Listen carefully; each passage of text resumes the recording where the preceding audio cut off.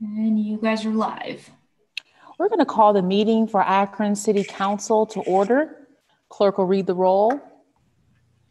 Baylor, Aye. Connor, Aye. Freeman, Aye. Fusco,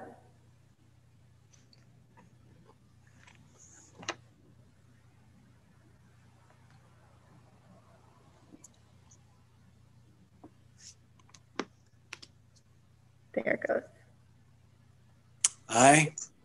Kammer, Aye. Lombardo, Aye. McKitrick, Aye. Malik, Aye. Neal, Aye. Omobien, Aye. Samples, Aye. Sommerville, Aye. Swirsky. All members are present except Swirsky. We will now be led in prayer by Councilman Freeman. Immediately following our prayer, we'll be led in the Pledge of Allegiance by Councilman Malik. Okay, we'll all pray together. Uh, Father in heaven, we thank you that uh, in the midst of a turmoil that uh, you never forsake us. We're thankful that in the time of our weakness that you continue to be strong. Ask God that you would guide us this evening. We pray these things in thy name. Amen. Amen.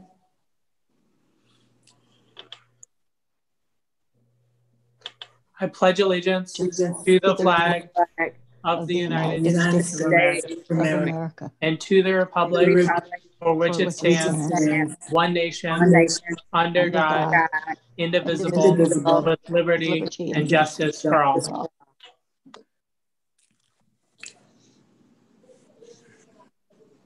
Minutes from our previously held meeting have been provided. Are there any additions or corrections? Seeing and hearing none, can we get a motion to approve? Councilman Fusco, Motion to approve. can we get a second by Councilwoman Connor? I'll second that. Roll call. Baylor, Aye. Connor, Aye. Freeman, Aye. Fusco, Aye. Kammer, Aye. Lombardo, Aye. McKitrick, Aye. Malik, Aye. Neal, Aye. Omobien, Aye. Samples, Aye. Sommerville. Aye. The minutes pass 12 to 0. Before you, you have the consent agenda. Motion to approve. Councilman Fusco. Uh, motion to approve the consent agenda. We have a motion on the floor. Can we get a second by Councilman McKitrick? Se- second. Roll call. Baylor, Aye. Connor, Aye. Freeman, Aye. Fusco, Aye. Kammer, Aye. Lombardo, Aye. McKitrick, Aye. Malik, Aye. Neal, Aye. Omobien, Aye. Samples, Aye. Sommerville. Aye. The consent agenda passes 12 to 0. We'll now move into our old business. Rules, Councilman Freeman. I do believe we have a substitute, um, and clerk can read that in. We do. Substitute offered as an amendment offered by Councilwoman Samples and Councilman Swirsky. Ordinance amending and or supplementing Title III, Chapter 38, unlawful discrimination, Section 38.01, definitions of the Code of Ordinances of the City of Akron and declaring an emergency. Councilman Freeman? Uh, yes, the committee met today. Uh, we've been looking at this for several weeks. There were some minor changes made, and the committee has asked for suspension of the rules and a favorable report. Any objections on suspension of the rules? Seeing and hearing none, the rules have been suspended. Uh, some minor changes. I would uh, happily uh, defer to Councilwoman Samples. She would have any comments. Um, thank you, Councilman Freeman.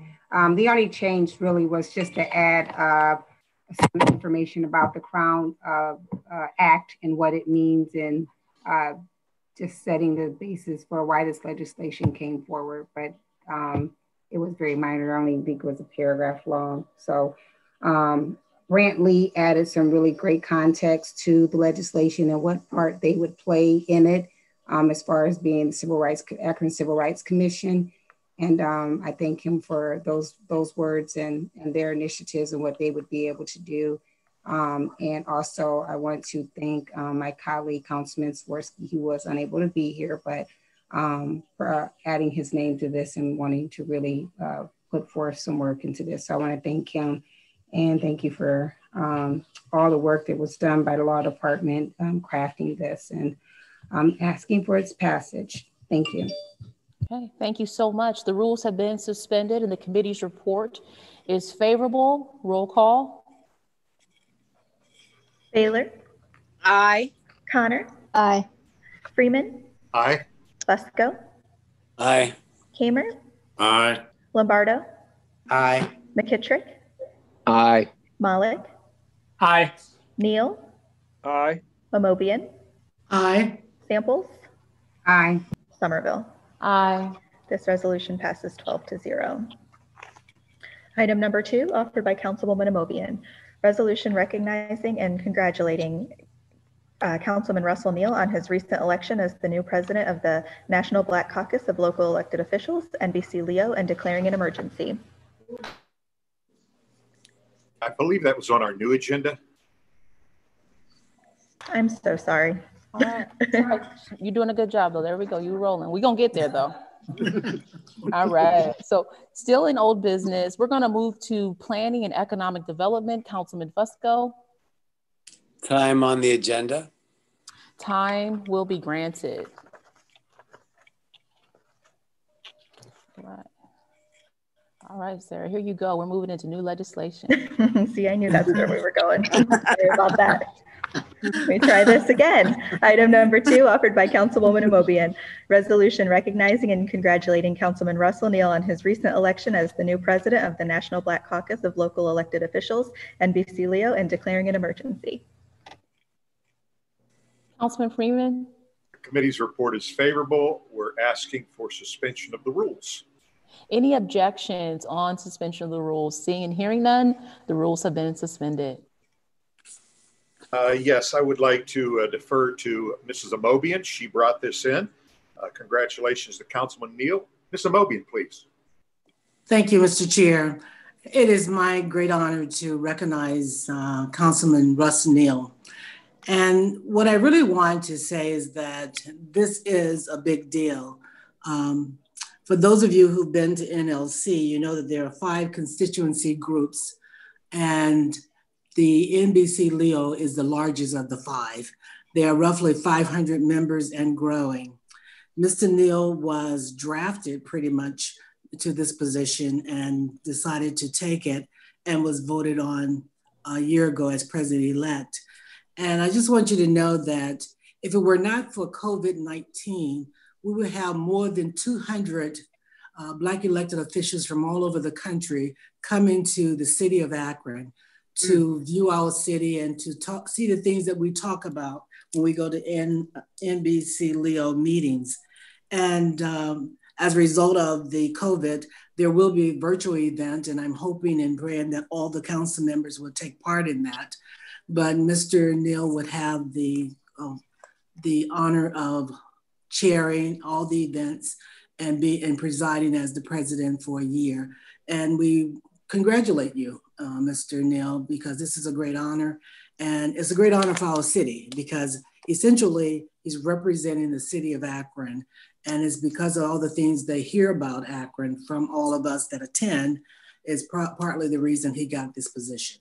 So with that said, uh, congratulations, Mr. Neal, and thank you for taking on this challenge. Mr. Neal, President-elect of NBC Leo. Uh, Hail to the Chief will not be played tonight, but uh, would like to know if you'd like to make a few comments. Um, thank you, uh, Chair, Mr. Chairman. Uh, I would. Um, first, I, would like to thank uh, this council for the opportunity to even be in this position. If you remember, it was a year ago that uh, we had our executive director from the State Municipal League to talk about how important it was for us to be a part of the league so that uh, we could still take leadership within NLC. And I want to acknowledge, uh, I mean, my, my colleagues, um, Ms. Omobien, who's uh, engaged in, NBC Leo as well as Women's, uh, the women's group, and uh, Ms. Tara Mosley Samples, who sits on the National League of Cities board. Um, we're blessed to, uh, represent Akron in this way and uh, it have direct access to not just our congressmen, but other folks on Congress. And now, thankfully, with the change of the administration, uh, we'll even have an audience at some point in time with the new administration going into the White House representing the different groups that we, we're with. So I'm thankful for that. Um, and I just want to say this. Um, when I first got on council, I did not understand the importance of being a part. So I've got to thank Ken Jones for reaching out and, and telling me even about NBC Leo and about, uh, uh, you know, the importance of going to National League of Cities. So I just want to uh, share, and I know that Councilwoman Samples and Councilwoman Omobien can, can attest to this, the network that we make and the access to be able to uh, impact legislation on a national level is huge. And then let me let me say this too. Um, even though it's a National Black Caucus of local elected officials, both Ms. Omobien and Ms. Samples will know this. Uh, one of our colleagues who just left council up in Cleveland, Matt Zone, was a member of NBC Leo it was Matt Zone under his presidency of National League of Cities that initiated REAL, the Race, Equity, and Leadership Council, which is the best government practice for cities across the nation on how to deal with institutional racism. Matt Zone, a Cleveland, a white city councilman who was a member of NBC Leo, initiated under his presidency the race, equity, and leadership. So we we all serve uh, diverse population. So I encourage my brothers and sisters here, get engaged in the municipal league, get engaged in NLC, get engaged in NBC Leo, because it has a rich history that even though we may not know directly, uh, when you start to dig and, and, study, it's touched all of our lives. So I, again, I, I thank you for this opportunity to share. Thank you to my colleagues for this opportunity. Congratulations, Mr. Neal and uh, Madam Chair committee's report's favorable. We're asking for suspension of the rules. Thank you so much. Again, congratulations, Councilman Neal. Uh, the, the, rules have been suspended. I don't know, is there anyone on the floor that would like to put a motion for uh, council as a whole? Uh, council as a whole? Second. Got, and we got a second. Roll call. Taylor. Aye. Connor. Aye. Freeman. Aye. Fusco. Aye. Kammer. Aye. Lombardo. Aye. McKitrick. Aye. Malik. Aye. Neal. Aye. Omobien. Aye. Samples. Aye. Sommerville. Aye. This resolution passes 12 to 0.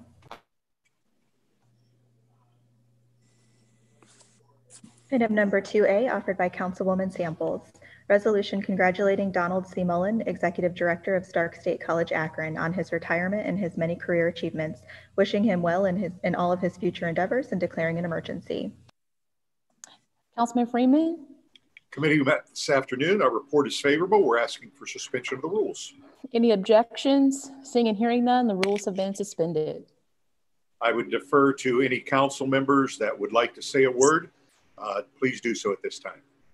Thank you. We want to start uh, maybe Councilwoman Samples. Thank you, Madam President. Thank you, Councilman Freeman. Um, as we all know and spoke about earlier today, Don Mullen um, has uh, been a, a, pillar in this community for many, many years, went to the Akron Public Schools, graduated from the University of Akron, um, and kept his, his um, time, treasure, and talent right here in the city of Akron, helping build out um, Stark State and bringing it to Akron um, along with um, Para Jones. Um, the work that he's done will be forever remembered. Um, he has left uh, uh, his his mark on Akron, and I just wish him well in his in his retirement. Um, he and his wife, and, and hope that he is now able to go out and enjoy the fruits of his labor. Thank you. Are there any other comments by any other council members at this time? I would like to make a comment. Councilwoman Omobien? Yeah, and certainly I would like to make the move that we do, council, mayor and council as a whole. Uh, I think Mr. Mullen, if I'm not uh, incorrect, and correct me if I'm wrong, Tara, he was an executive at Goodyear, one of the rubber companies. And after he retired from there, he went to Stark State. And he has been the one person that we have been able to contact and, and work with as they have brought this university or college to Akron and stay in touch. Um, and, and with that, I certainly wish him well in his retirement. And I think he has done a nice job networking with us and staying in touch with us. Thank you. Thank you so much. The rules have been suspended. The committee's report is favorable. We do have a motion on the floor for mayor and council as a whole. Can we get a second, Councilman Neal? Second. Roll call. Baylor, Aye. Connor, Aye. Freeman, Aye. Fusco,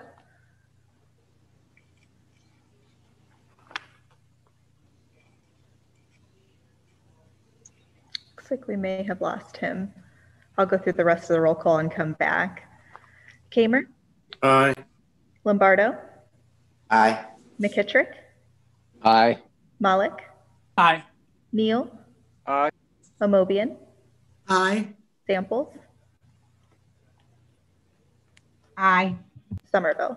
Aye. Here's Councilman Fusco now connecting to audio. We'll just give him a minute.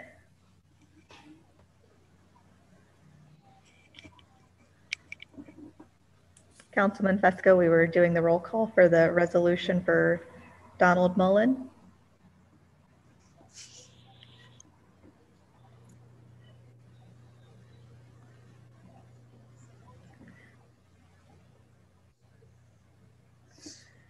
Councilman Fusco, you're on mute. Okay, he's having some technical difficulties. I, oh, I hear him. He is in the building with us, though. Okay, so we'll move on. Is that a, a yes? Okay, this resolution passes 12 to 0. Item number three, offered by Freeman, ordinance authorizing the issuance and sale of notes in a maximum principal amount of $2,500,000 in anticipation of the issuance of bonds to pay the cost of acquiring and installing computer equipment for the city and acquiring, construction, constructing, equipping, and otherwise improving the city's network infrastructure, including the acquisition of equipment and related software and furtherance thereof, and declaring an emergency. Councilman Freeman? Uh, Yes, the committee's requested this item be placed on the consent agenda, and I would uh, do well to add that uh, these next few bond issues, uh, Mr. Fricker said he would give us some detail about uh, how the funds are going to be distributed. And uh, if you would have any questions, please feel free to reach out to him this week. We have asked that this item be placed on the consent agenda. Thank you so much. This item will be placed on the consent agenda. Item number four, offered by Freeman, ordinance authorizing the issuance and sale of notes in a maximum principal amount of $650,000 in anticipation of the issuance of bonds to pay the costs of improving municipal buildings and facilities in the city by constructing, reconstructing, renovating, repairing roofs, remodeling, relocating, making site and other improvements, planning and designing facilities, and acquiring and installing related equipment. All is ap- applicable, des- designated or to to be designated by the Director of Public Service and declaring an emergency. Councilman Freeman? Consent? This item will also be placed on the consent agenda.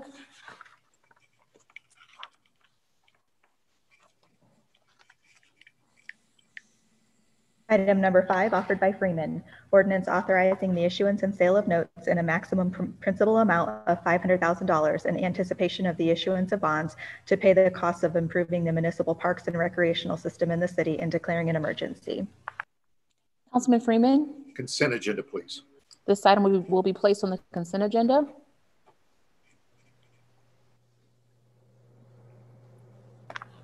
Item number six, offered by Freeman, ordinance authorizing the issuance and sale of notes in a maximum principal amount of $8 million in anticipation of the issuance of bonds to pay the costs of constructing, reconstructing, and otherwise improving certain streets in the city and declaring an emergency. Councilman Freeman? Consent agenda. This item will be placed on the consent agenda. Item number seven, offered by Freeman, ordinance authorizing the issuance and sale of notes in a maximum principal amount of $750,000 in anticipation of the issuance of bonds to pay the cost of certain economic development projects in the city and declaring an emergency. Councilman Freeman? Consent agenda. This item will be placed on the consent agenda. Item number eight, offered by Freeman.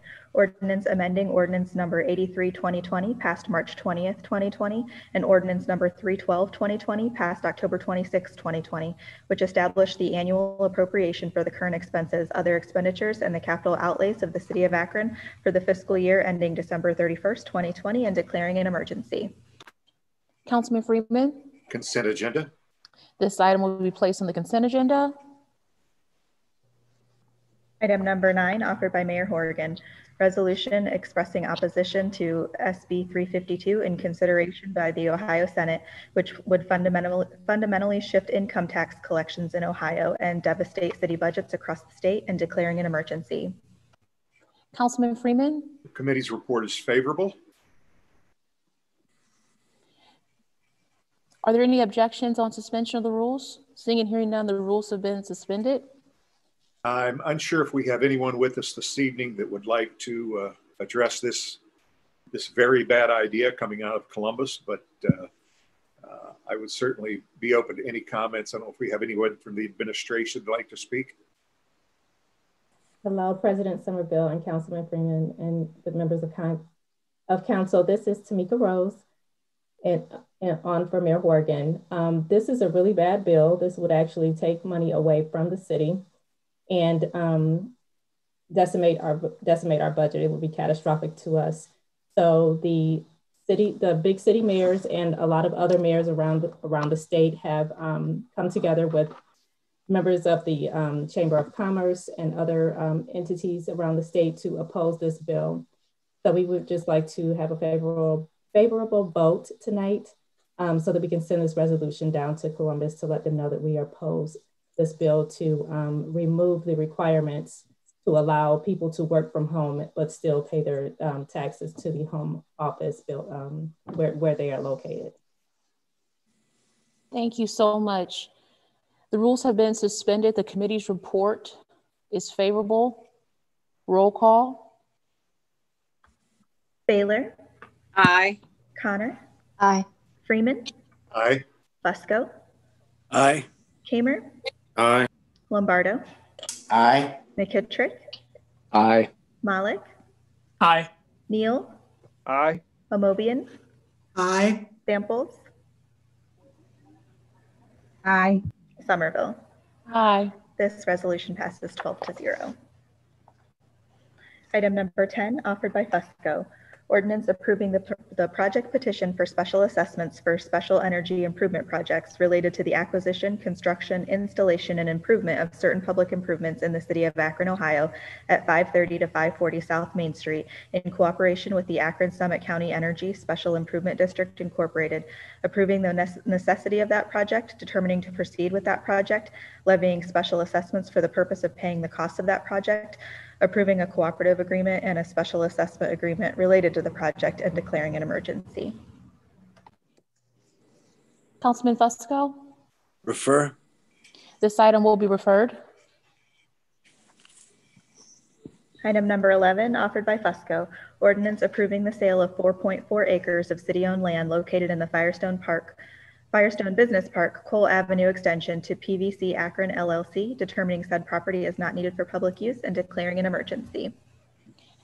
Councilman Fusco, Yes, thank you. The report of the committee is for suspension of the rules with a favorable report. any objections on suspension of the rules? Seeing and hearing none, the rules have been suspended. Yes, thank you. This is um, in the uh, Firestone Park business area, uh, business park.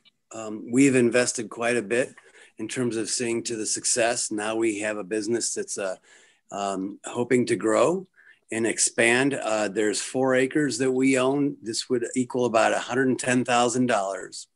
We typically, we always charge 25,000 per acre.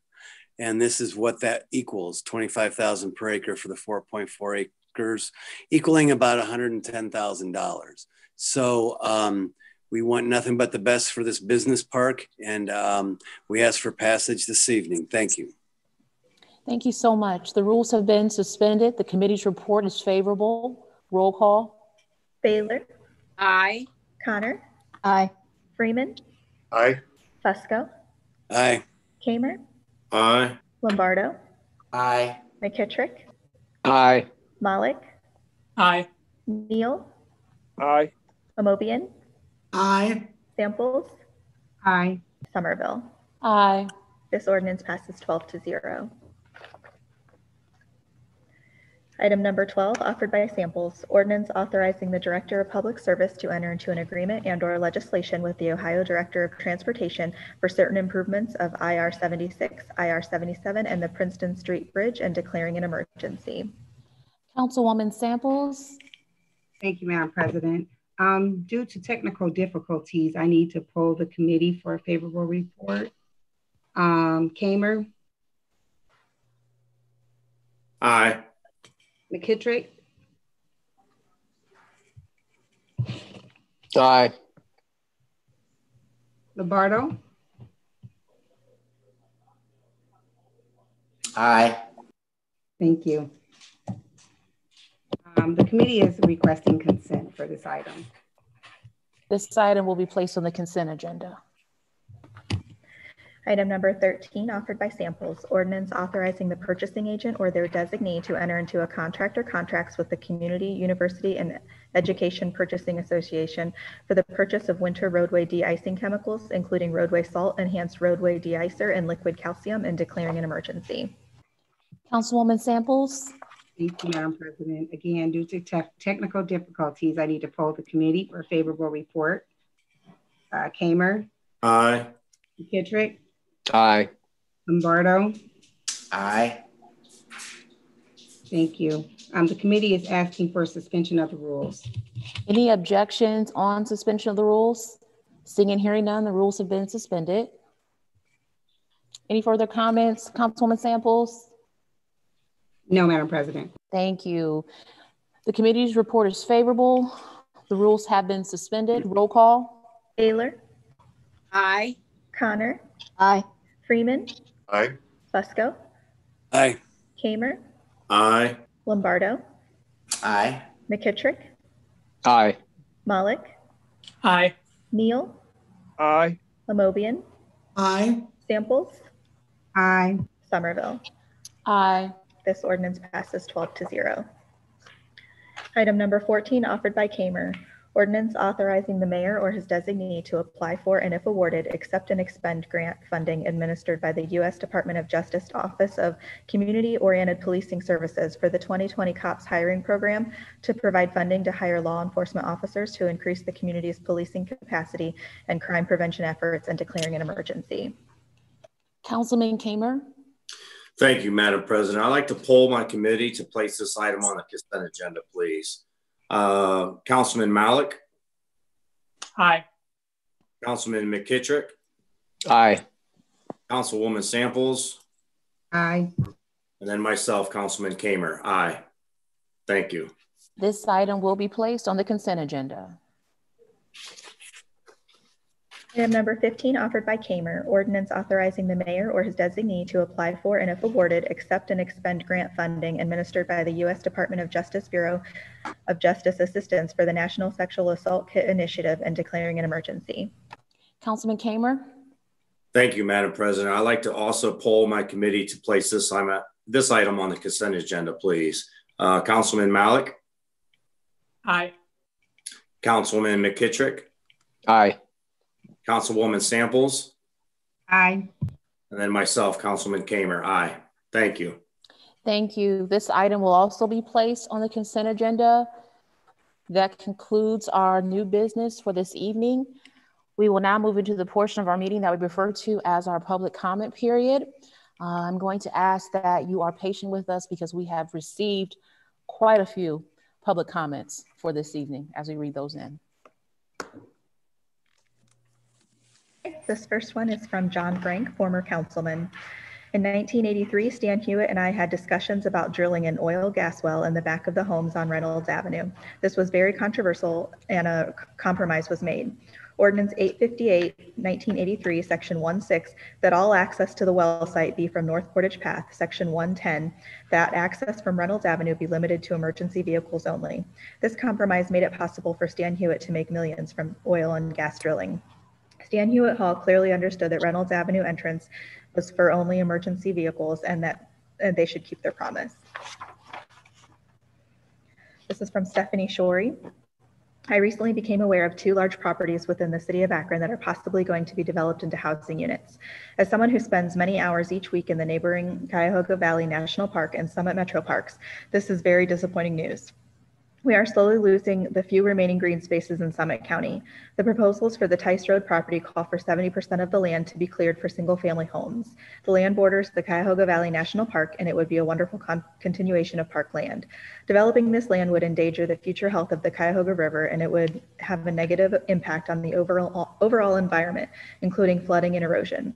This development would also drive wildlife out and increase traffic near a sensitive area of the park. The Riverwood property is even more concerning as it has already been purchased by a developer with the intention of rezoning it. I hope the city of Akron will reconsider rezoning this property to residential. While the plan includes the restoration of 45 acres of ri- riverfront property, those 45 acres are in a flood risk area and not buildable. So this gift is a laughable afterthought that allows the developers to appear as if they care about the natural state of the area they want to develop. The developer has promised to restore the riverfront to its natural state. However, there is no money budgeted for restoration, trail creation, or long-term maintenance of the riverfront area. As a local citizen, I strongly oppose the proposed sale of the Tice Road property and the rezoning of Riverwoods. The city of Akron should refrain from any new developments until after a master plan has been created. Thank you for your consideration. This is from Jeff Wilson, Ward 8. Rather than turn the Riverwood Golf Course into a cultural and natural dead end via townhomes, why not re- develop it in a way more in line with its natural setting? I would love the option to drink a coffee or have dinner in a much more scenic setting than currently found in the Merriman Valley. A connector bridge across the river would also be a great idea in terms of scenery and in terms of facilitating foot traffic to potential shops and cafes, especially in the summer. Green space matters, and if integrated into development, it can enhance what Akron has to offer. Thank you for your time. This is from Sarah Blakely.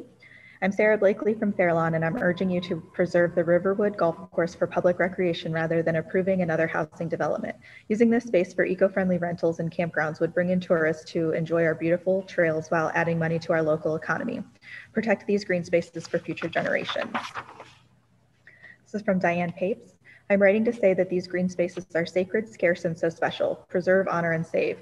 503 Sunrise Drive, Kent, Ohio, Kent, where we have a path along the river. This is from Barbara Hanna. Please, please, please preserve our valley. Valley. We need housing for nature. It is our obligation to take care of the earth. Thank you. This is from Ron Brubaker. Let's follow the example set by Frank Seiberling and, and Ralph Regula and preserve the Riverwood Golf Course for future future generations. This piece of land is far far more valuable as parkland open to all than another department complex for the benefit of tax revenue. Please do the right thing. Your action on this matter will have a long-lasting impact on our entire region. This is from Thomas Fritsch in Ward 10. It is a wonderful idea to preserve the Riverwood Golf Course property for recreation-related use. Additional traffic congestion and impervious surfaces that a residential development would produce is not needed in the Merriman Valley. When the Cuyahoga floods this area, residents will look to the government for funds to restore and rebuild, an expense that is not needed.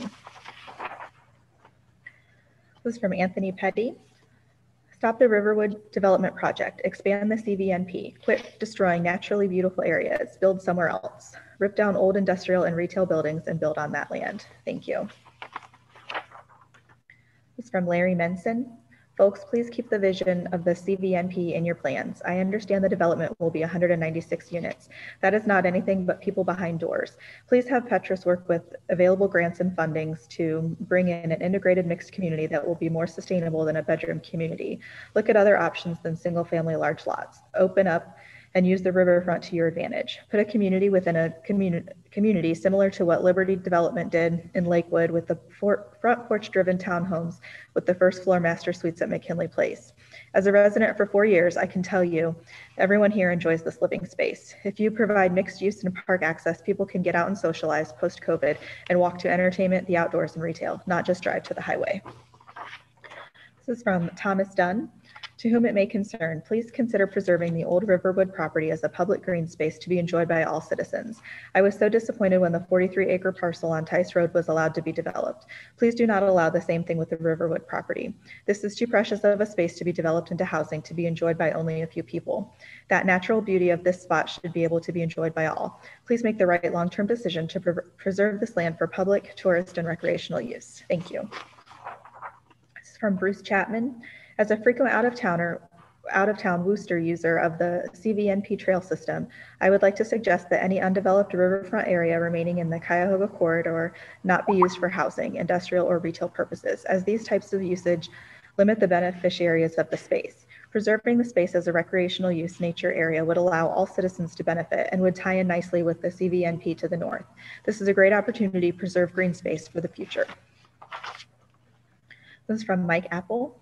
Please preserve Riverwood as a place for everyone to use. Connecting this gem to the towpath would offer many mixed use opportunities to enhance the Cuyahoga National Park now and into the foreseeable future. Don't be short sighted and simply allow apartments and homes to be the only beneficiaries of this riverfront acreage. This is from Marcia Sampson.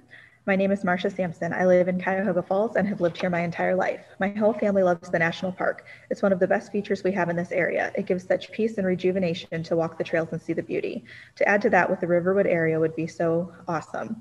I love the idea of cabins where you could stay overnight. Currently, everybody I know either goes down to Mohican or some other places south of here to spend extended time. But we could have that here and it would make our community money. Please consider, please seriously consider this possibility. Be the visionaries as John Seiberling was. This is from Tom Burgett. The recent announcements regarding the Tyson Riverwood housing developments are indeed disconcerting. As we all know, the natural areas of our great city are dwindling, and residential development on a grand scale directly adjacent to a superb U.S. national park is simply short sighted. At this moment, the city of Akron has the unique opportunity to do the right thing within the confines of the Merriman Valley. Please consider your actions very carefully and properly manage the Riverwood acreage for all to enjoy. Rental housing won't do it. This is from Suzanne Goes Chapman. As a frequent out of town Wooster user of the CVNP trail system, I would like to suggest that any undeveloped riverfront area remaining in the Cuyahoga corridor not be used for housing, industrial, or retail purposes, as these types of uses usage limit the beneficiaries of the space. Preserving the space as a recreational use nature area would allow all citizens to benefit and would tie in nicely with the CVNP to the north. This is a great opportunity to preserve green space for the future. I grew up and was raised in those parks and my heart is in their preservation. This is from Ricardo Olivier. Please help support the Preserve the Valley Group proposal to turn Riverwood Golf Course as a gateway to the CVNP. This is from Susan Gallagher. Please consider a more beautiful vision of a mixed-use area at Riverwood as the southern gateway to the CVNP. A visitor center, lodging sites, kayak and bike rentals, coffee shops and restaurants would be an economic plus. Akron does not need more suburban sprawl. Build housing on Old Route 59 downtown. We in highly populated Northeast Ohio need to preserve as much natural space as we can. I am sure John Seiberling would agree. This is from Craig Leonard. Please halt development in the Merriman Valley until a master plan can be worked on to ensure that the land is put to its best use. The outdoor recreation and park utilization of this land could be invaluable to local residents and businesses. It is this type of rushed cap- capitalization to businesses over the common good that led my wife and I to move out of Akron last year. This is from Ron Ring. I am asking that you consider the proposal being presented to you by Preserve the Valley Citizens Action on December 14th for mixed use of recreation and tourism for the Old Riverwood Golf Course, developing the Merriman Valley as the southern gateway to the Cuyahoga National Park makes sense for generations to come versus the planned housing development by Petros Homes. Please give this proposal your full consideration for the people of Akron and the surrounding area. Thank you. This is from Kara Gilgenbach. Please halt development decisions and rezoning approval for the Riverwood Golf Course area until a public master planning process has been completed.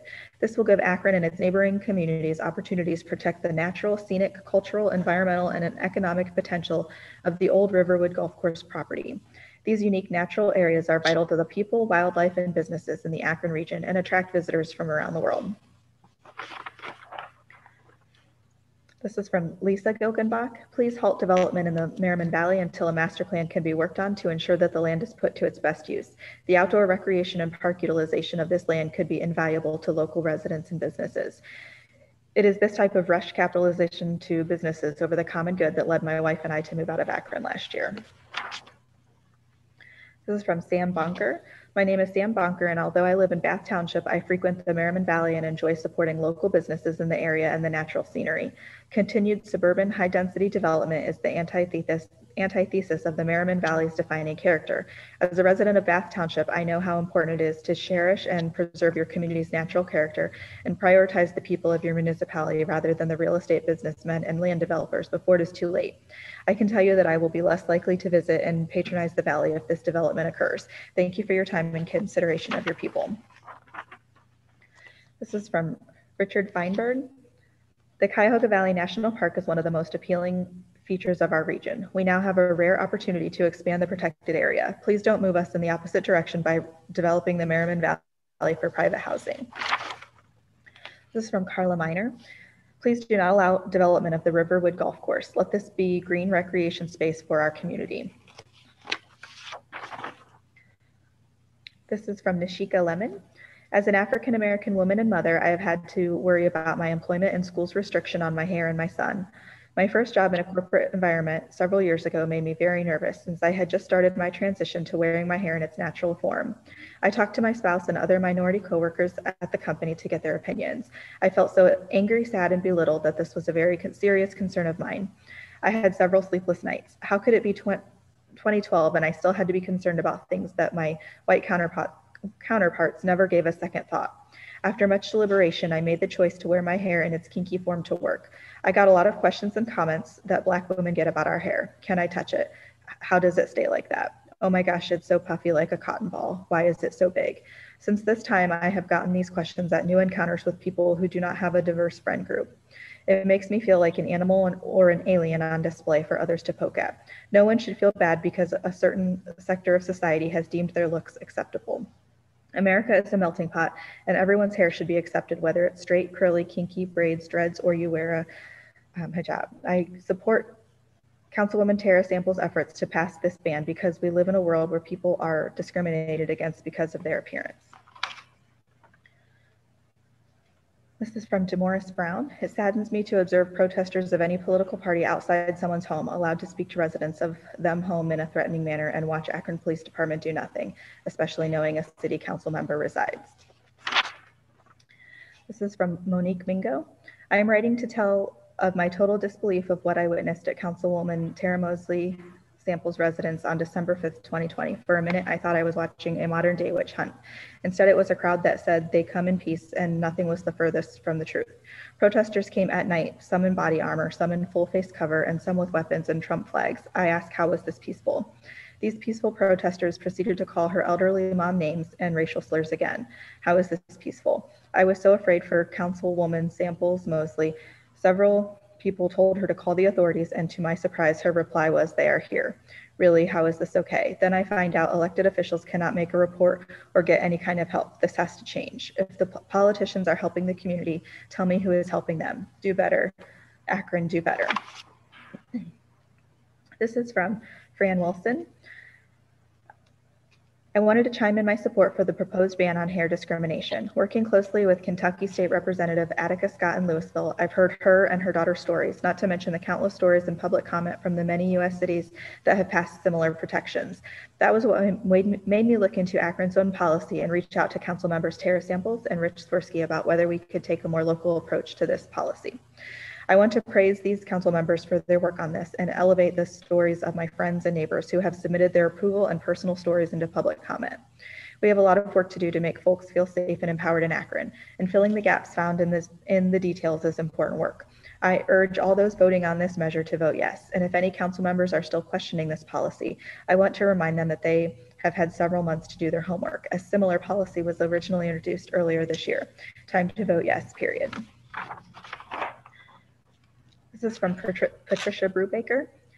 This land is invaluable as parkland. It would, it would improve the national park immensely. Please don't waste this valuable land on housing. Do the right thing and preserve this land for generations to come.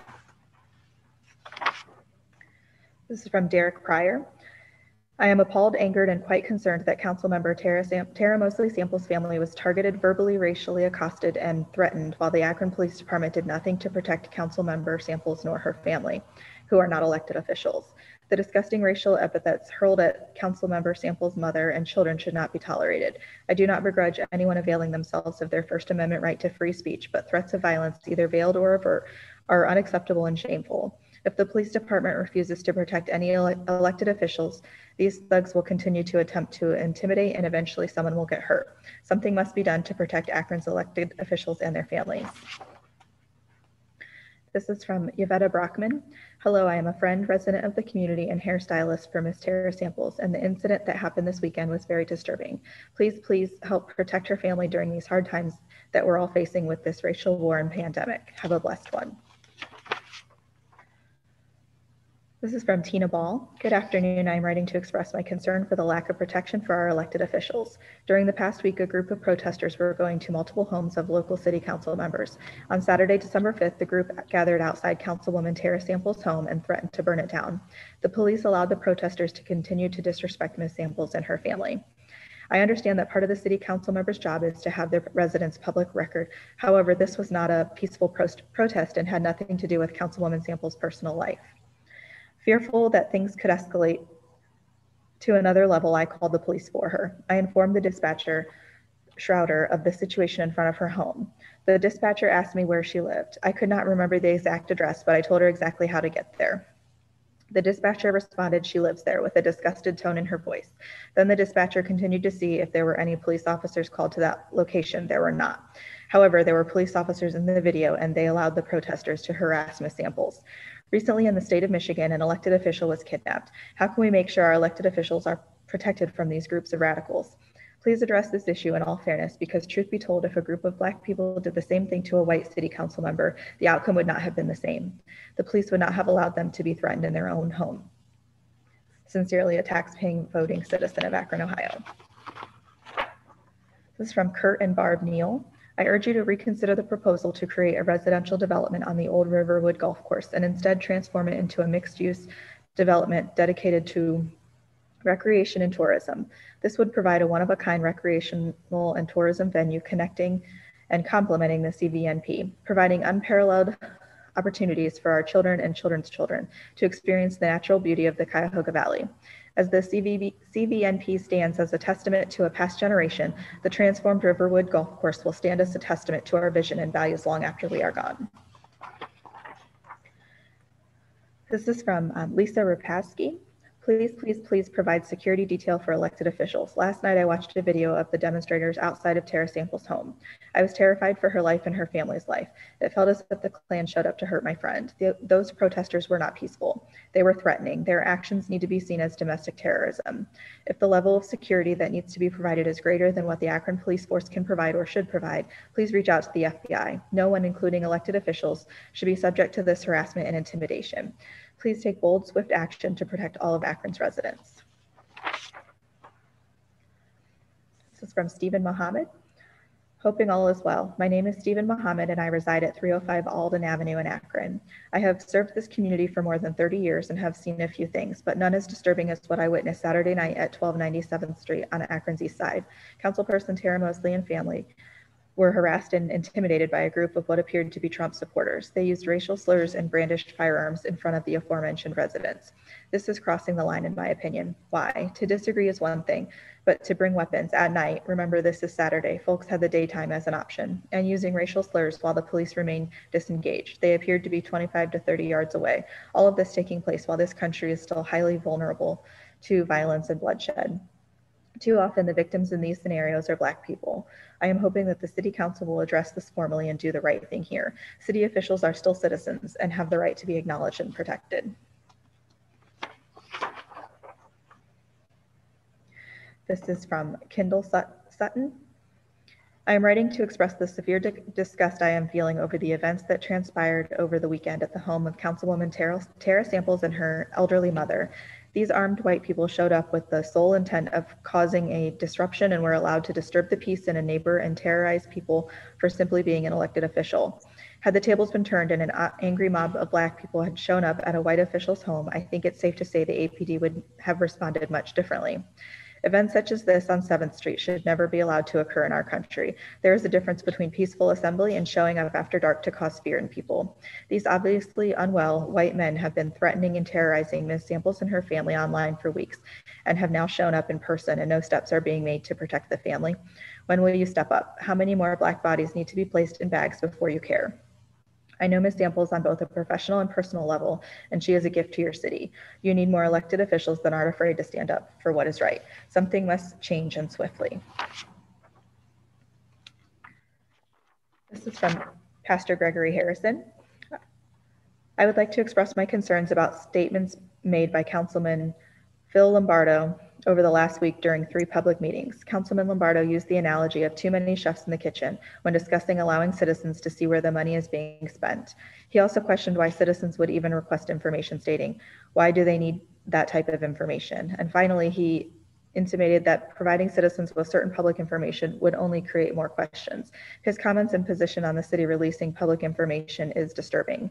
Councilman Lombardo's statement that he would like to get off of Zoom away from the eyes of the public and go into a room to discuss issues with only the city council and police present is most troubling. I do agree that there are some police records and practices that should not be made public. The records and practices that fall into this category are specifically outlined in state and federal laws. Councilman Lombardo's assertion that we should let elected officials and criminal justice officials do their job without public scrutiny or questioning is a dangerous mindset, likened to the way oppressors operate without the voice of the people with whom they oppress.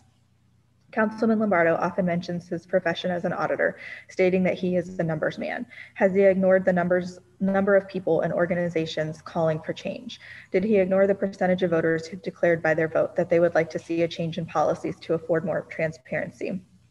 Councilman Lombardo is a professional auditor who does not believe that independent audits are necessary. This makes no sense. Backroom deals away from the stakeholders and shareholders scrutiny may be how Councilman Lombardo conducts business on his job at First Energy, but as a public official, that's considered corruption by way of a conspiracy to withhold something from us that is rightfully ours.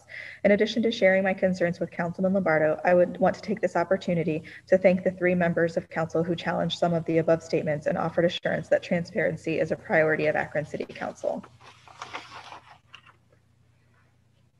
This is from William Fleischer.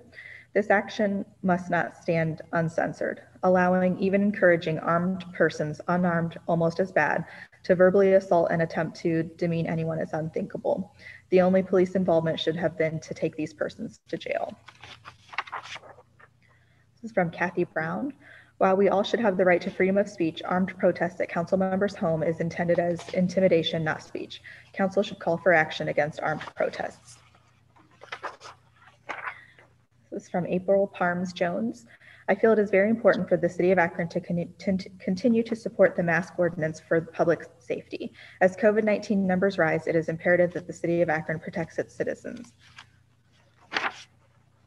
This is from Donna Plunkett. The recent group intimidation of an elected official on 7th Street in Akron by armed protesters must be addressed. No one should be harassed and threatened in this manner, particularly in front of their own home. This is not free speech in action in a democratic republic. This is law- lawlessness. It must be acknowledged for what it is and stopped.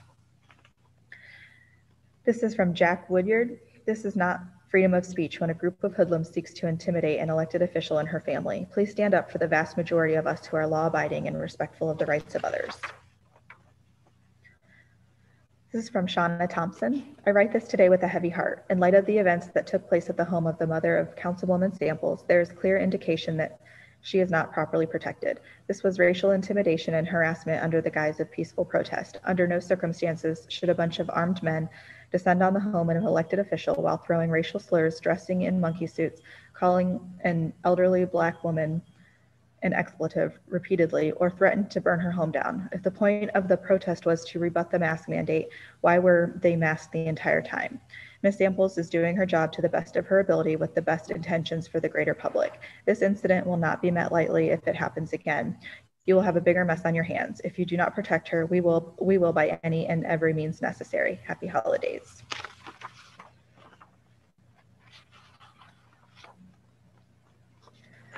This is a letter from the Alpha, Alpha Kappa Alpha Sorority Incorporated.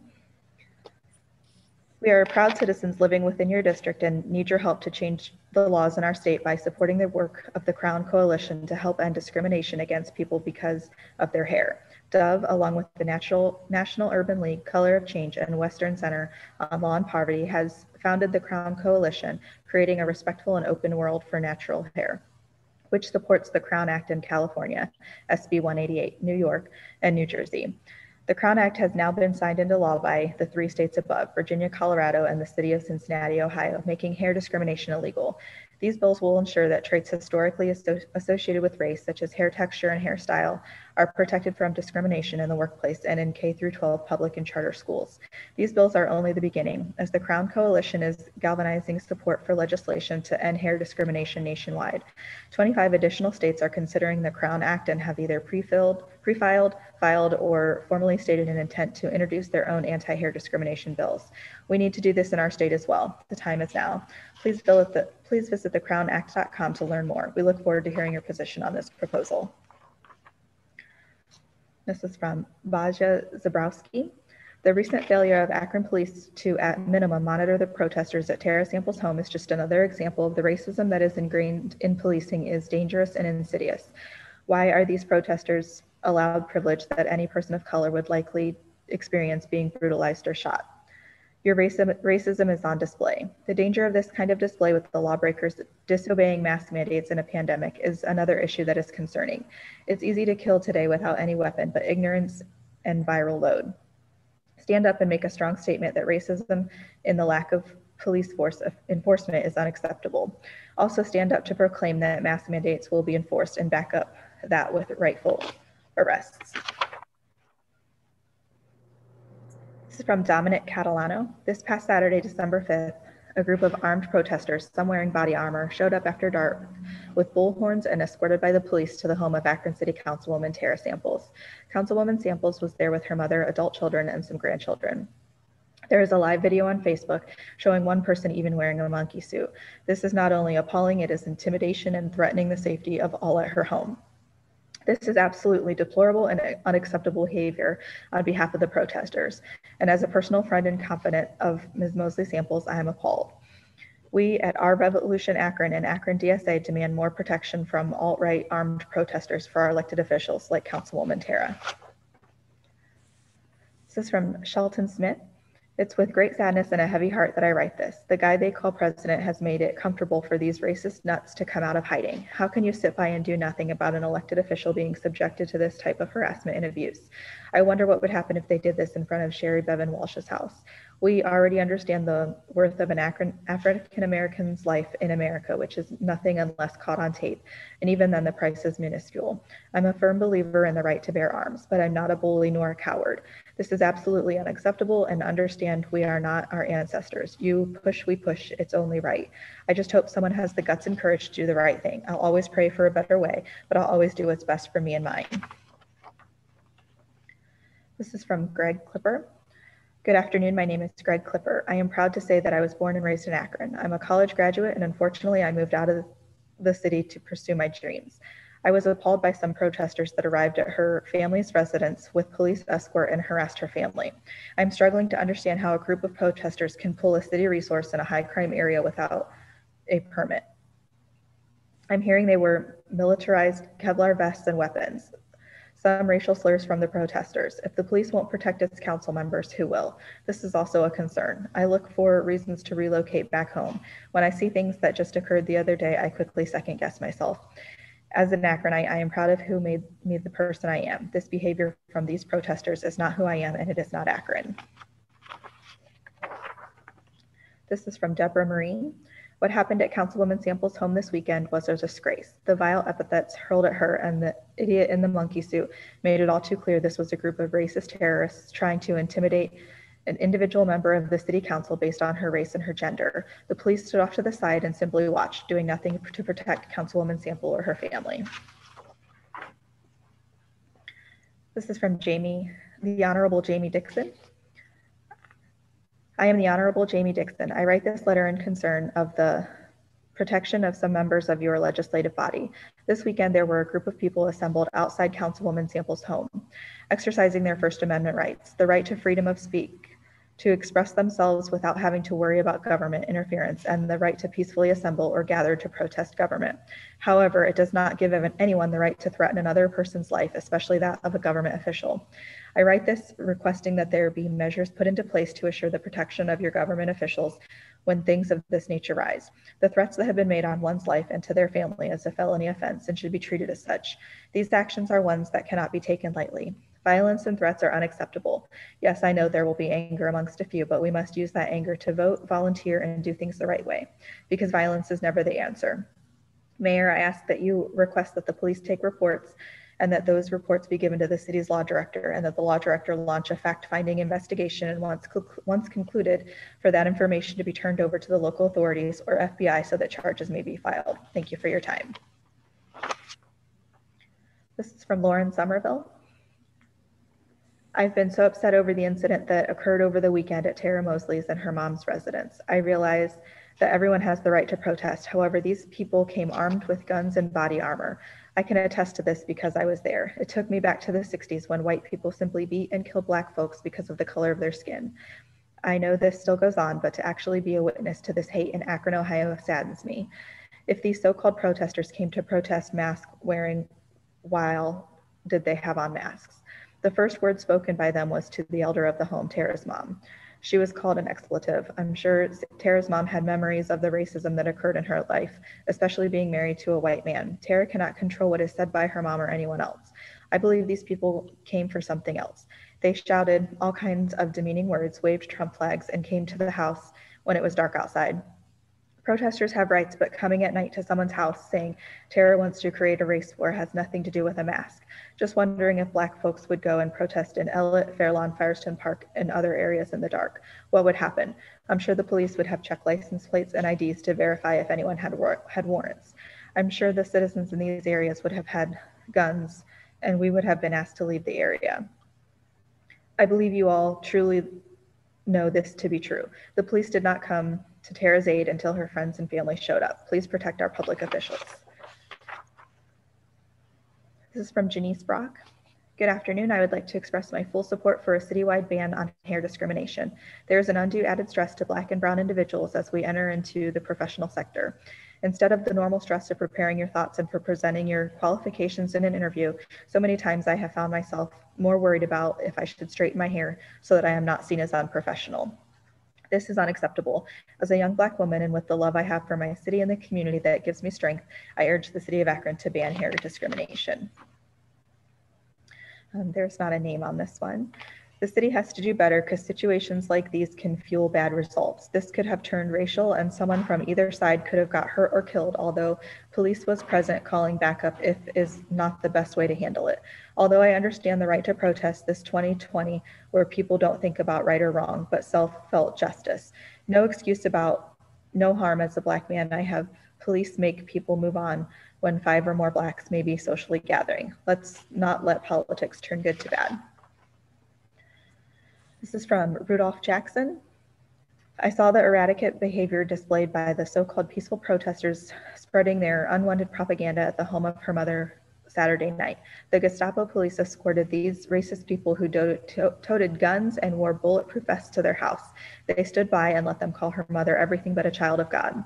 How is this the land of the free and you're terrified to be in your home? Make no mistake about it, she has the support and strength of a community, and no disrespect will be tolerated ever again. By the way, did those cops check for CCWs and who gave them the permit to come to her home? Because maybe maybe we sh- should start protesting to some homes. Maybe we'll get some attention. This is from Latanya Lewis Beckton. I am concerned and disgusted by the recent protests at our council members' homes. While it is these protesters' right to gather, showing up with guns and bulletproof vests was not a good start to a peaceful protest. Even more sickening was the waste of police man hours by meeting them or escorting them specifically to Tara Samples' home. It is my hope that officials come up with a way to protect these officials. Tara Samples works hard in our community and we fully back her. With or without police presence, these gatherings will eventually lead to unnecessary violence that we already have enough of in our city.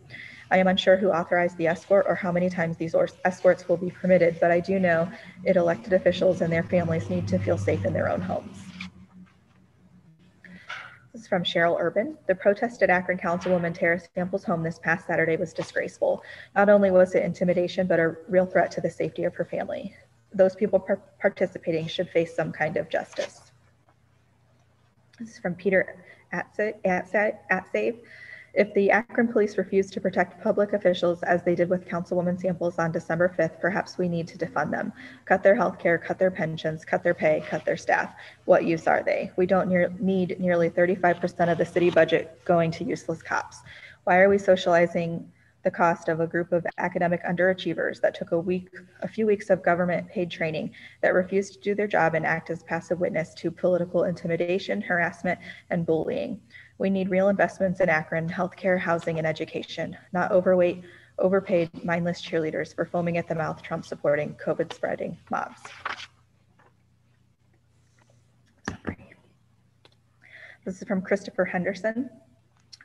I'm writing in regards to the above noted matter. I'm from Akron, born, raised, and educated, and what I witnessed from Councilwoman Tara Mosley Samples' Facebook live feed was one of the most horrid things I seen in Akron in a very long time. During her live feed, I seen people outside of her residence disturbing the peace by hurling racial comments, spewing despicable allegations, and causing fear among the community. I was appalled by this action and knowing that Akron police officers were at the scene and did not de-escalate the situation until people in the community showed up to confirm that Councilwoman Samples' welfare was satisfactory gave me more reason to write this letter. It was clear that those thugs were there to do to incite harm and manipulate her to withdraw her stance on the mandate that all citizens should abide. We must do better for the people that hold these positions. An elected official should feel safe, not only in their community, but especially in their homes. I'm all for people exercising their constitutional right to peaceful protest, but when it intensifies to racial tirades and potential violence, something should be done. We need to safeguard our elected officials to ensure their well being and allow them to implement policies that have been correctly discussed and voted upon. I'm in favor of visiting a policy law where our officials are protected from people who want to take the law into their own hands and do things that will cause harm to our elected officials and the people in the community. Because if you won't, then the people will. Thank you.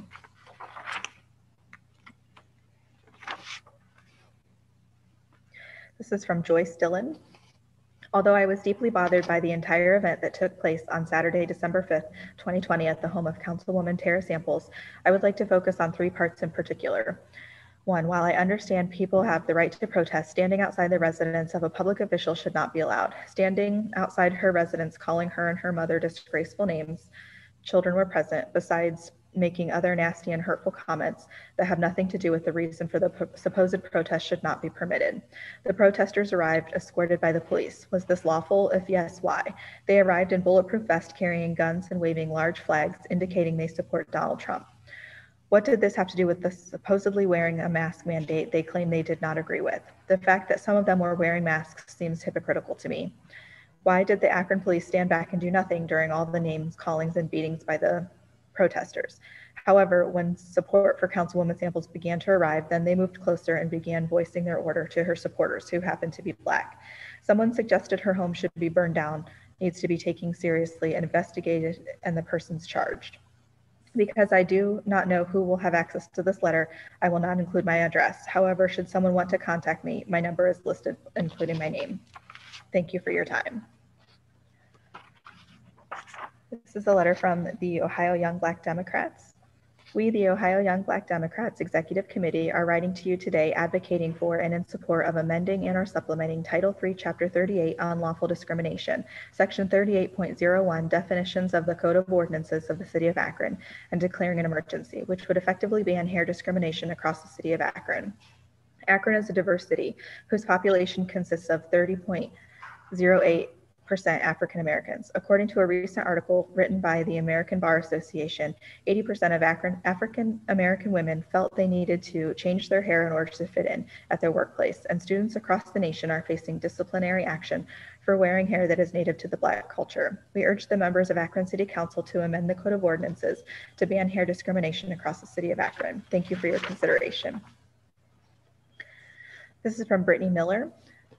This email is in regards to the radical protesters who thought it was okay to protest in front of Councilwoman Tara Samples' mother's house regarding a mask mandate. I find it very disturbing that the Akron police escorted the protesters to her home on 7th Avenue, but neglected to protect and serve a city official when she was being harassed and threatened. I do understand protesters have the right to protest, but toting guns and wearing monkey suits to protest a mask mandate while wearing a mask seems very extreme. I believe Tara Samples and her family may be in danger and should be protected so she can continue to serve her community. If this protest would have happened in a more rural suburban community, I am almost 100% positive the outcome would have been very different, resulting in an arrest or worse, another murder. Thank you. This is from Wesley the Keeper from Akron Honey. To say that we, people of color, specifically Black people, need anti hair discrimination laws is an understatement. It's sad that we even have to say it, but from the personal experiences without such measures, we are exposed to being suppressed in white spaces. In my experience, it was in the workplace. The kicker is that these spaces are meant for all Americans to thrive, and without such protections, we are systematically submitted to a disadvantage that mirrors the history of arguably the ugliest part of our nation. We have to start undoing that together. I not only support anti-hair discrimination, but demand that. This is from Brant Lee, the chair of the Akron Civil Rights Commission.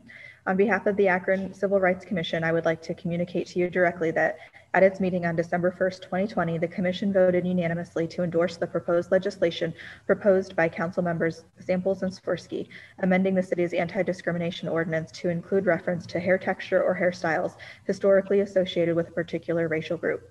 Employers who are accustomed to straight hair that is relatively easily managed may be unaware that their expectations with regard to hairstyles have a racially unequal impact. Others may be well aware, regardless of their level of awareness, that unequal impact is what anti discrimination is meant to prevent. This proposed ordinance clarifies the situation, which will make it easier for the Commission to do its work. Thank you for the opportunity to share our views. Please don't hesitate to contact the Commission if you have any questions regarding this or any related matter in the future. This is from Pamela Novak. As a physician and a citizen, I am appalled that people unhappy with appropriate health safety measures and armed with guns and wearing bulletproof vests protested outside Councilwoman Samples' home. However, I am far more concerned that when the protesters requested police presence, the police did not immediately go to the home to protect the Samples family. We must not allow anyone to intimidate, threaten, or hurt our elected officials. This is from Crystal Varner. This letter is in regards to the recent protests that took place outside of Councilwoman Tara Samples' home this past weekend. First of all, I would like to state that I am completely disgusted at what I witnessed, not only by the protesters, but also by the Akron Police Department and their lack of involvement. The protesters arrived with one mission in mind, and that was to excite violence. They said that they came in peace, but yet they arrived with bulletproof vests, waving Trump signs in a predominantly black neighborhood, and throwing racial slurs and profanity. Not only that, they arrived with a police escort. Not once did the police try to calm them down, and the situation may have gotten worse if Councilwoman Samples had not called for her community and family to step in and protect her. If the Akron Police Department job was to protect and serve, they did one lousy job at protecting Councilwoman Samples that night. They willingly chose not to get involved, no matter how the quick how the quickly the peaceful protest escalated by the protesters until Councilwoman Samples' family arrived. Before it was completely okay for the protesters protesters to throw racial slurs and vulgar, vulgar words toward not only Mrs. Samples, but to your senior mother. This entire situation was uncalled for, unfair, and does not show that APD has the best interest of our community or our respected leaders, but yet has sided with the white supremacists that only came to evoke fear and anger in a community that has already seen too much of both. The community is demanding an answer. I also have some voicemails.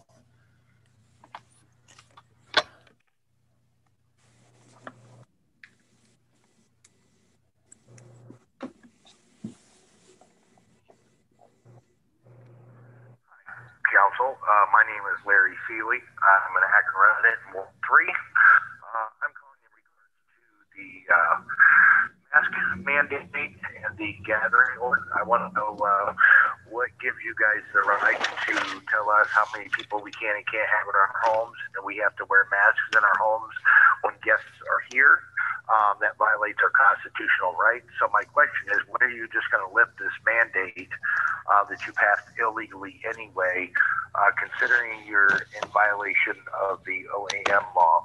Um, so just wanted to know that. Thank you very much.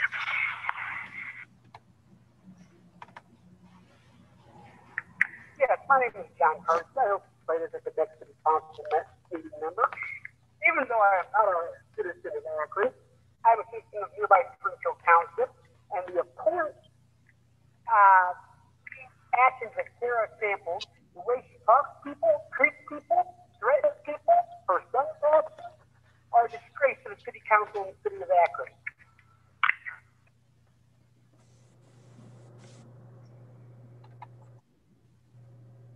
I am Bill Nesbitt at uh, 330 379 2235 and the address 1155 Diagonal Road here in Akron. Um, even though it may seem unrealistic to do the following uh, in regards to the Akron Bureau of Public Utilities moving from its High Street location and also know that they've already moved to the newer one on South Main. I want to once again state that that's unfair and we really definitely should, not be moving that Bureau of Utilities from its High Street location. Of course, due to the coronavirus situation and with a, as said by our governor and our medical officials, we have a dire situation becoming increasingly dire, then we definitely would not be of proper care to our citizens to have extended travel done to do essential uh, functions. We need to have the high street there, particularly for a population without uh, traveling cars, that one hour bus ride round trip, going and making the payment the same day of an urgent payment or emergency payment, being able to do that as opposed to moving it from that spot and manually being a part of additional buses and travel uh, from one hour to at least two or more hours of night travel.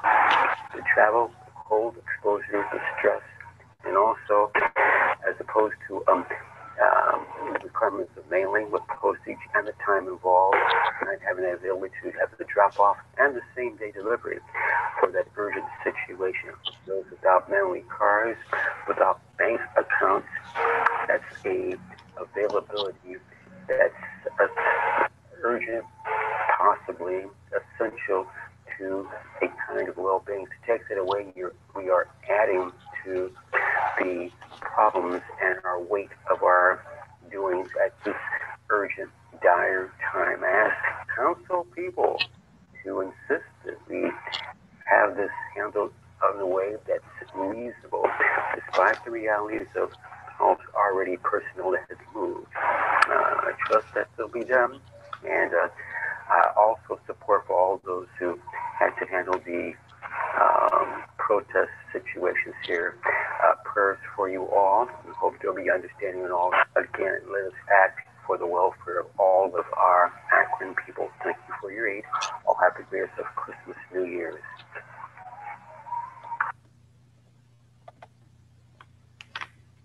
My name is Zach Pierce. I was just calling to uh, just kind of share my experience. The uh, day after Thanksgiving, I had tried to call a member of City Council, Tara Sample. I had seen several posts on Facebook saying that she was threatening her constituents. I did not really believe that coming from a city councilwoman that she would do such a thing.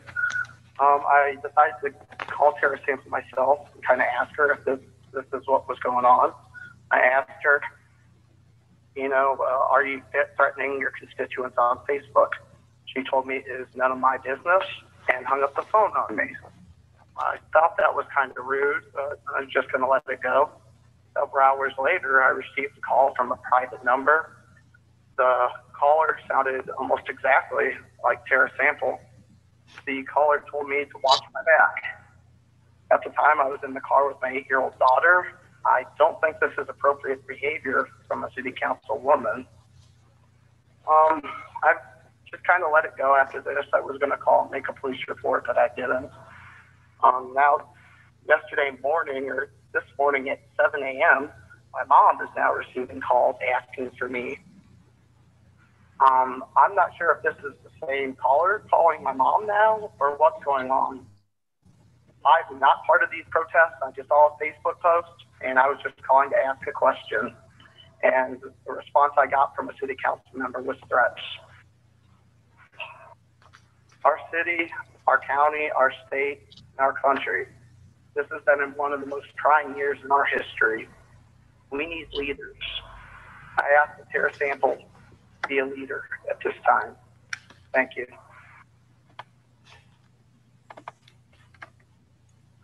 Yes, my name is Michael Miller, and I'm calling in regards to the video I saw on Facebook from Councilwoman Samples.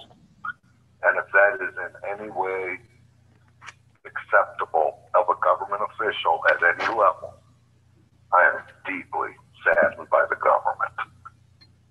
She should be banned from council immediately.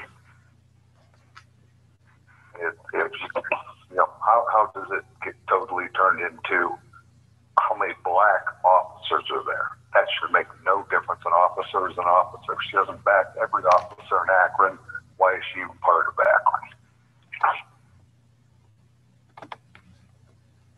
Hello, my name is uh, James Island. I'm uh, calling uh, to basically uh, make my comment about uh, Mrs. Tara Samples. I uh, saw some very, very unsavory behavior by her towards protesters, and uh, you know there were vulgar- vulgarities and uh, calling uh, white people names, uh, racial attacks on white people uh, who are illegally protesting outside of the residence. And uh, I, I don't, really don't feel she's fit to be a council member. I don't feel that she should be representing anyone on behalf of Akron, Ohio, or any other state in Ohio, uh, city in Ohio, I'm sorry. Uh, she's not fit to uh, be council member, not only for that reason, but also for the uh, various infractions and illegal things that she's been doing, which I really hope that will be investigated by the city uh, of Akron and state of Ohio very soon. I'm at uh, 640 North Main Street in Akron. Hopefully, Mrs. Samples won't be sending any BLM terrorists to my address like she had threatened to do to the legal protesters uh, that she has harassed uh, for legally protesting outside of uh, various residences that were public and announced uh, online. Uh, I really think that people should take a, a, look into this, whether they are in support of or against Mrs. Samples, and uh, really consider and reflect whether this woman should represent Akron, Ohio, and the City Council. Uh, that's all for now. Thank you, and have a good night. Hello, my name is Sarah, and I would like to express my disappointment with Councilwoman Tara Sample. As a resident of Ward 5 who disagrees with the recent ordinance that Tara voted for, limiting the number of people allowed in my home and mandating that I wear a mask, it is disappointing that Tara seems to lack the professionalism to accept criticism from her constituents. Instead of, quote, clapping back, unquote, I believe Ms. Samples should reach out to those who disagree with her and have a conversation. Perhaps this would help us all find common ground or maybe just to see life from a di- different perspective. But judging from recent social media posts calling Akron residents who disagree with her mofos and Trumpers, it is clear Ms. Samples disdains those who disagree with her or challenge her authority. I am not sure if Ms. Samples realized that she works for and represents all of the residents of Ward 5, not only those who agree with her. Council people are not monarchs, and the citizens of Akron are not the peasantry. We are allowed to disagree with you and let you know about it. Council people should have enough professionalism to accept that and reach out to constituents to find common ground. The residents of Ward 5 des- deserve an apology from Ms. Samples. And the reason I didn't leave my last name or my address is because I don't trust this council, um, this city council, to respect my privacy and not um, seek retaliation. That's how bad things have gotten at this point. Um, it's very disappointing, and I encourage all council people to, to reach out to those who disagree with them, have conversations. It doesn't need to um, descend into calling people names and hating people who disagree with you. We all should be better than that. Thank you.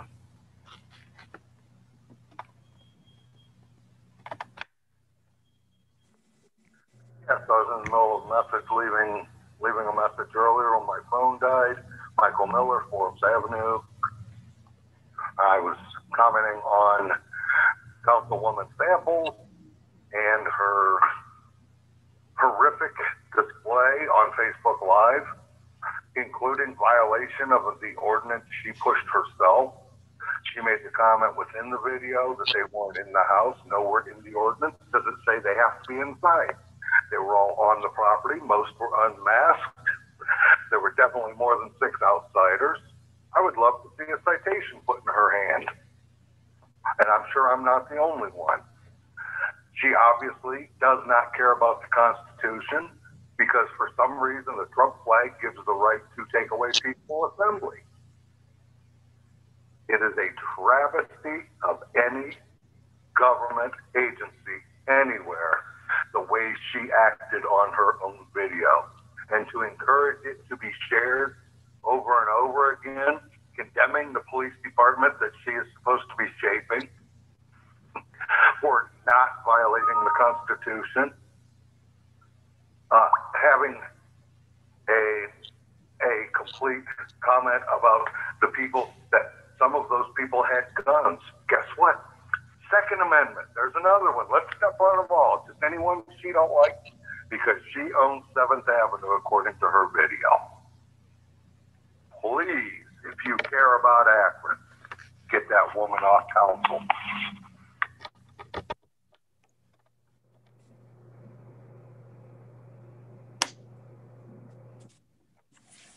That's the last of the public comments we received. Thank you so much, Sarah, uh, for reading all of those comments. Um, and again, we want to thank all of those who participated um, and sent public comments for this evening. We will now go to our committee assignments, rules, Councilman Freeman. 245. Public safety, Councilman Kammer. 215. Public and uh, budget and finance, Councilman Freeman. 3 p.m. Parks and Rec, Councilman Neal. Uh, 140, 145. Planning and Economic Development, Councilman Fusco. One o'clock, Housing and Neighborhood Assistance, Councilman Fusco. subject to call. Public Service, Councilwoman Samples. 2 p.m. Health and Social Services, Councilwoman Omobien. 30. Public Utilities and Green Committee, Councilman Freeman. 245. Thank you so much. Is there anything else coming before council? I do see Councilwoman Samples' hand. Thank you, Madam President. Um, first, first and foremost, I, I, I want to say um, I'm very troubled that uh, anyone would try to form a narrative that I am anti-police. Um, many of those officers I've worked with in the courthouse um, for many years. I know many of them. Many of them I'm very good friends with. Um, so that needs to be stated. Um, never once did I say uh, anything derogatory about these officers. So I know there's a couple people wanting to form their own opinions about what I said and what I didn't say. Um, some of those people who called in are people who were actually at my house with guns. So there you go. That I mean, they were at my house with guns. That's not peaceful. You came at night and then you threatened to go to one of my other colleagues' houses after you left mine with the same tone and the same manner. Um, I've never been anti-police. I, I, have actually helped with their recruiting, and I, I'm very concerned that they're trying to shape that narrative here or even on their pages. Um, some of those officers know my daughters. Um, the sergeant was was very nice to my mother. He came on the porch and tried to calm my mother down. Um, and again, uh, he did go to those protesters when he saw things were getting a little heated and told them he thought it was wise for them to leave. Um, how they got there and who they came with it is still unknown to me. Um, all I know is I came down the street and there was two cops sitting in the alleyway by my house and a whole bunch of people in front of my house. um, and called my mom names before I got back there. She came on the porch, told him to move from in front of the house, and then he said very explicit things to my mom when she was in the house with two of my grandchildren. So um, I'm very professional. I don't call people, I don't threaten people. It's just ridiculous that, you know, but it neither here nor there. Anyone who knows me knows I don't do that. And I can't stop other people from saying what they want to say um, and doing what they want to do um, in the heat of the moment. Again, they came to my house. I didn't go to theirs. I didn't call them. I didn't break a gun. I didn't bring a flag. I, I didn't wear a bulletproof vest. I didn't go to anybody's house at night. So um, I, I, that needs to be said because I do have officer friends who've called me concerned uh, about a narrative that's being shaped. And, and, and it's unfortunate. Um, people can say what they want. The video is there. Make your own determination. And again, for my own safety and the safety of my family, I absolutely recorded it. So then no one can say this didn't happen. What if they had put out a gun and shot my mom or shot me? And no one would have ever showed up. It was just me and my mom and my two granddaughters there. And, and I'm asking this, this, this city council and our administration that we really need to take a look at uh, how people get to organize without a permit. And if they want to have officers present with them, they should have to pay for off-duty officers. We can't say in the sense that our officers are strapped, they got other things that they have to take care of, they shouldn't enforce uh, face masks at people's houses, they need to solve other crimes, but yet you have officers who would rather have been somewhere else having to sit there and deal with this foolishness. And that's exactly what it was foolishness. It was never about a mask. It was about a mask, you wouldn't have never come in Trump gear with Trump flags and wearing a monkey suit. And we Black people know what that means when you wear a monkey suit. You can't have it both ways. Are you mad at us about a, ma- a mask mandate or is this something else? Thank you. Thank you so much, Councilwoman Samples. Councilman Malik. Thank you very much, Madam President. And uh, obviously very, very saddened by what uh, happened at Councilwoman Samples' home. And, you know, I, I understand that folks have a uh, right to protest, but, you know, her, her family didn't ask for that and her neighbors didn't ask for that. And it, it really does, I think, speak to everything we heard the last hour speaks to, I think, where we are as a country. And I think we're all going to reflect on that. Um, I, one thing I wanted to talk about was um, the the city of Cleveland recently announced that it would resume utility disconnections, and this prompted me to take a harder look at this issue here in Akron. As previously reported by the Beacon Journal, the city uh, of Akron resumed water shutoffs for non-payment in August. There were 366 disconnections in August and 810 in September. According to the finance department, there were 717 disconnections in October and 418 in November for a total of 2,311 disconnections since the summer. I don't know whether this matches up to 2,300 separate households, but it almost certainly represents thousands of people who've had their water turned off during this pandemic while we're urging folks to stay home and wash their hands. I know there's some concern that an indefinite moratorium on shutoffs could lead to a broader series of delinquencies and shutoffs after the expiration of a moratorium uh, given that delinquent bills will likely mount throughout a moratorium and that COVID 19 resources will likely be much more limited next year. Uh, but while those financial concerns are understandable, respectfully, 2,300 shutoffs is a crisis right now hitting our most vulnerable residents. Since the summer, city administration has tried to connect utility customers with resources. The Akron Cares program initially had at least $700,000 to assist with water and sewer bills. The city has done a lot of work to make sure the application process is as easy as possible and to do outreach to folks who are behind. But this fund had about $369,000 on October 5th, and it's currently around $314,000.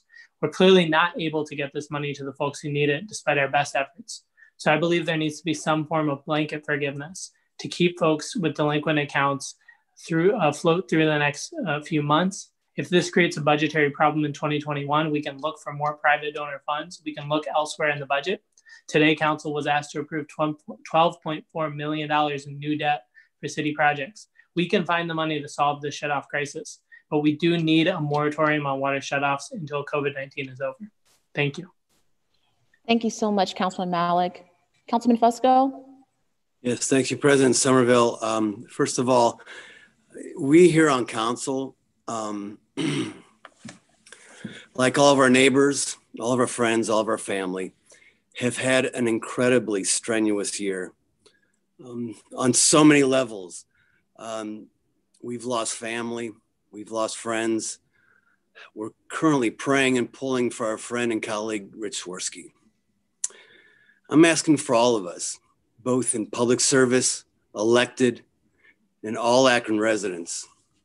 We must be more sympathetic, more empathetic toward one another.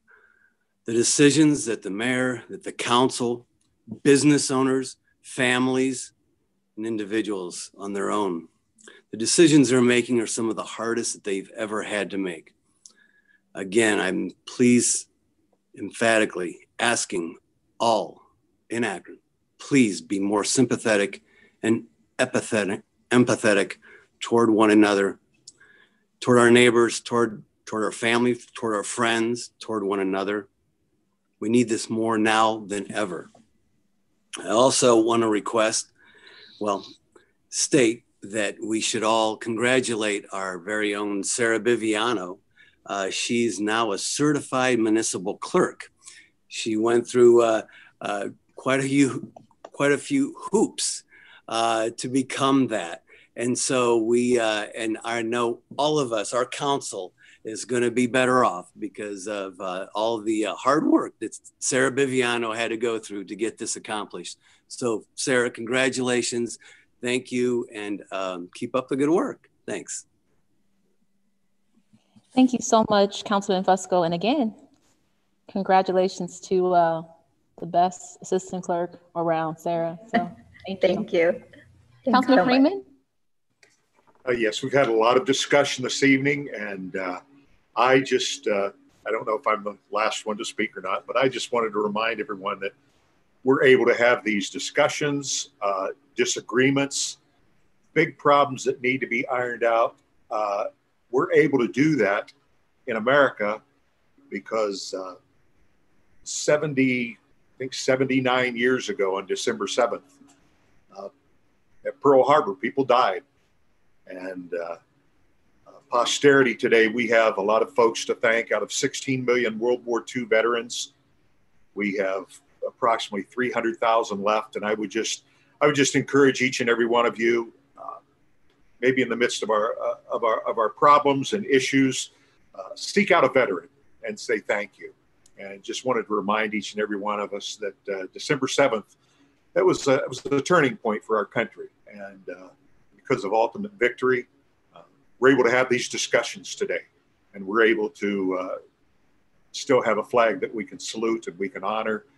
Uh, we disagree, but our Constitution stands, and it stands because uh, thousands of individuals gave their lives. So we want to recognize and honor this day and the individuals that paid the ultimate price.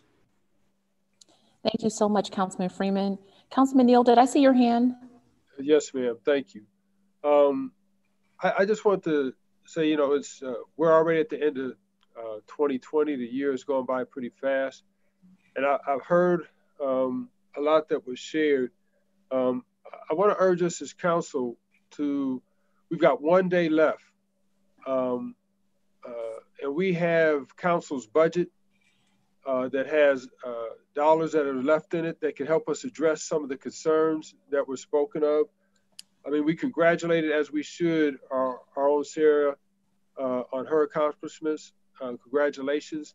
Um, but but I, I, believe there's an opportunity for us to uh, allocate some of those dollars before we roll out of the year on two things, if not three.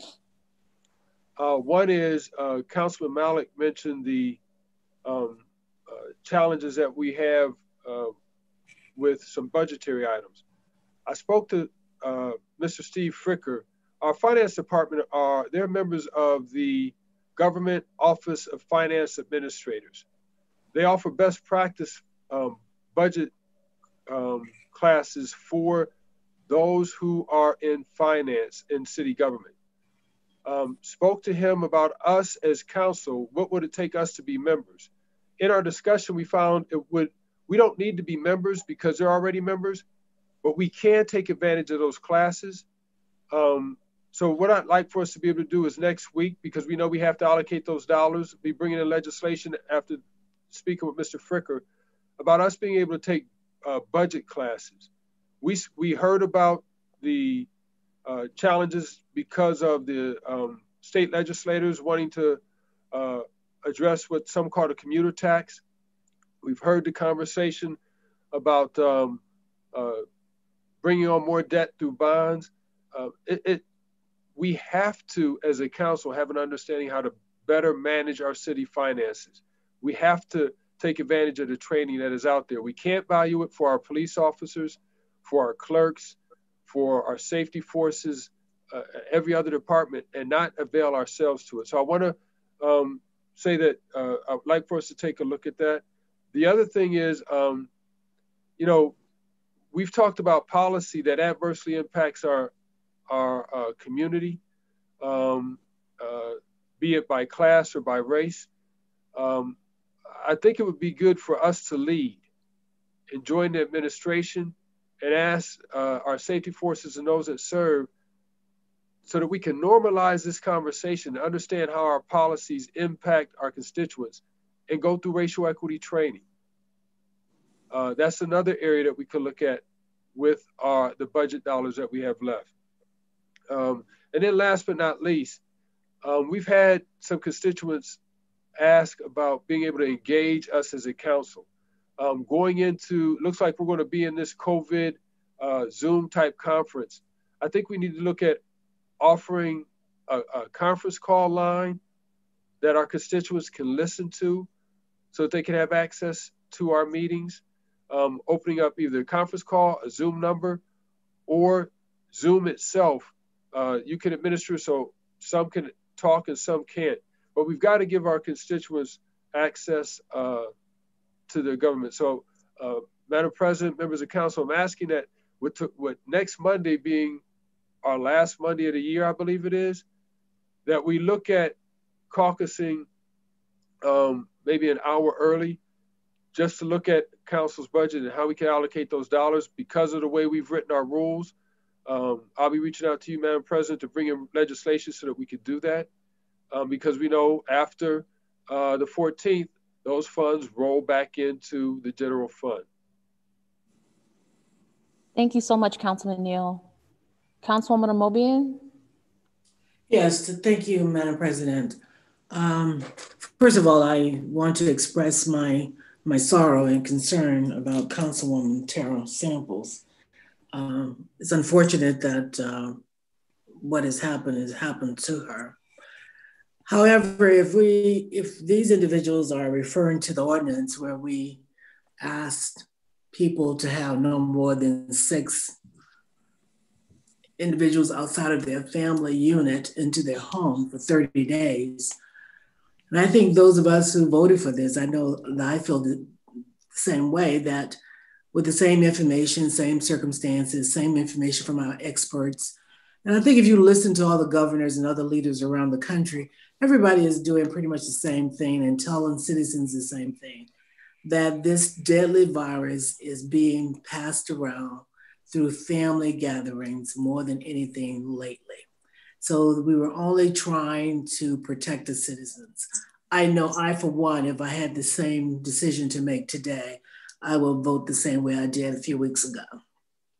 With that said, I'm, I'm deeply troubled, though, by what um, Councilman Malik just shared with us about the water shutoffs. So, if there's a way for us to address that next week and do something about that, I had no idea we had those numbers. I realized that the moratorium had been lifted on on a lot of the, you know, the evictions and water shutoffs and utilities and those things, but I had no idea we had those kinds of numbers. So if there's a way for us to address that next week to see if there's something we can do, I certainly would like for us to look at that. So with that said, I hope that somebody can bring some some possible ways of addressing this from the administration uh, next week. Uh, I know we don't have all of the answers to address all of the problems, but I know the United Way and all these foundations are looking at ways they can help. I mean, this is a major urgent need. If people are in their homes without water, I mean, how can you exist that way? So I hope somebody will come to our aid. Thank you. Thank you so much, Councilwoman Omobien. Uh, before we adjourn, I uh, just wanted to make a comment uh, regarding reimagining public safety as we draw close to wrapping up and presenting our recommendations. We started this process um, as a council collectively looking at public safety in the city of Akron.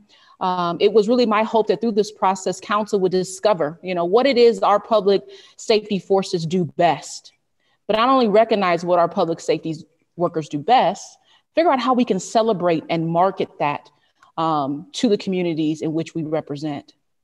It was also our hopes that we would be able to be innovative in our thinking about how we can be better, how we could be more efficient, how we could be more intentional on better supporting our police officers, and how we could address the concerns of our constituents, all while building and repairing relationships between City Council and our Akron Police, and repairing and building relationships between police and community. And I'm really excited because I think we're moving in the right direction, and I think we have done uh, really all of that. And I think we are truly um, just getting started. We were hoping to be able to release recommendations to this body and to the public on today, but we are still working.